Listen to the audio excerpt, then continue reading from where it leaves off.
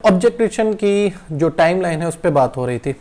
हमने स्टार्ट यहाँ से किया कि 1965 से 80s तक हमारे पास बेसिक प्रिमिटिव्स थे अलाइनमेंट थी ज्योमेट्रिक प्रिमिटिव्स थे। फिर हम मूव कर गए, हमारे पास कलर हिस्टोग्राम्स आ गई, कुछ शेप के पैरामीटर्स आ गए। No what happened in mid 90s और लेट 90s में कुछ अरसे तक क्या चीज़ चली? जिसके अंदर एक बड़ी इंपॉर्टेंट अप्रोच है, जिसे कहते हैं स्लाइडिंग विंडो अप्रोच अब ये स्लाइडिंग विंडो अप्रोच क्या है? यहाँ पे मैं एक चीज़ ऐड करना चाहूँगा कि जो रिसर्च होती है, वो कभी भी यहाँ से करंट टाइम से स्टार्ट नहीं होती। वो हमेशा फ़ायदा उठाती है पिछले नॉलेज से। इससे मुराद क्या है कि अगर जब हम बात करते हैं कि हमने मिड नाइन्टीज़ में क्या किया तो इससे मुराद ये है कि जो मिड नाइन्टीज़ का वर्क होगा, वो पिछली सारी रिसर्च को साथ लेके चल रहा होगा। दोबारा मैं समझाने की कोशिश करता हूँ। अगर कंप्यूटर साइंस के लिहाज से बात करें तो ये एक इंक्रीमेंटल मॉडल होगा। इंक्रीमेंटल का मतलब क्या है? कि 1950s की जो अच्छाइयाँ थी, वो, के जो मेथड्स की जो अच्छाइयाँ थी, वो आपने कंटिन्यू रखी। फिर 60s के मेथड 70s के 80s के तो जो जो उनकी पॉजिटिव या स्ट्रेंथ थी, उनको कंटिन्यू किया जाता है। बजाय इसके कि सारी रिसर्च को दोबारा स्टार्ट किया जाए, पिछली चीज़ों को साथ चलाया जाता है। इससे मुराद क्या है?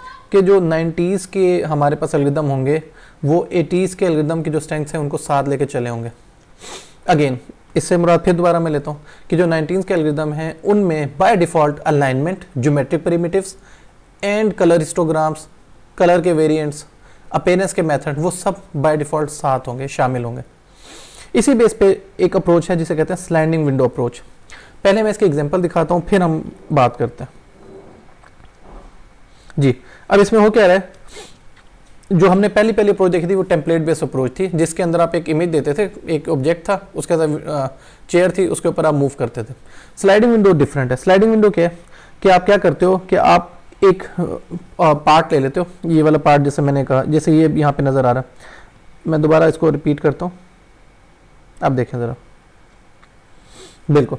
अब क्या हुआ कि ये इमेज के ऊपर फ़िल्टर खुद ऑटोमेटिकली चलता जाता है और हर पिक्सल को जो इसके नीचे आ रहे हैं, उनको यूनिकली क्लासीफाई करेगा किस यूनिक लेवल में।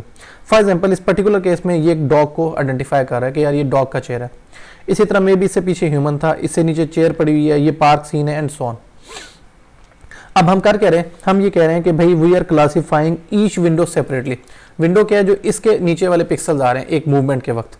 तो इसका मतलब क्या है कि 90s के जो मिड का टाइम था, उसमें स्लाइडिंग विंडो अप्रोच आई, जिसने एक इमेज के ऊपर विंडो मूव करते हैं और हर जो उसके नीचे इमेजेस आ रहे हैं, उनको एक लेबल आइडेंटिफाई करना। एक और एडिशन वो क्या थी कि अगर इमेज के नीचे जो ऑब्जेक्ट आ रहा है, वो छोटा या बड़ा है तो ये ऑटोमेटिकली स्केल एंड ओरिएंटेशन यानी कि एंगल डिफरेंट है या स्केलिंग है, दोनों को ऑटोमेटिकली एडजस्ट कर लेता है। अब ये एबिलिटी कहाँ से है ये एबिलिटी आई थी पिछले मेथड से, जो इससे पहले काम हो चुका था। वो स्केलिंग पे या ओरिएंटेशन पे जब काम कर रहे थे तो ओरिएंटेशन से मुराद हमारे पास फिर एंगल्स के ऊपर जब वो काम कर रहे थे तो स्केलिंग विंडो के अंदर ये अप्रोच ऑटोमेटिकली आ गई कि जब उसने इमेज के ऊपर को स्केल करना है विंडो ने तो उसको ऑटोमेटिकली विंडो को बड़ा या छोटा करने की एबिलिटी हो।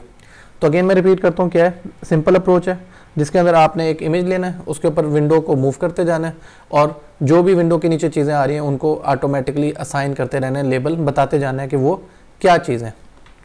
तो अगेन अब हम टाइम लाइन के लिहाज से कहाँ पहुँचे? हमने कहा जी कि 65 से 80 तक, फिर 80 से 90 तक, या, और फिर हम मिड 90s के अंदर खड़े हैं कि जी, हमारे पास अब स्केल स्लाइडिंग विंडो जो है वो शुरू हो चुकी है।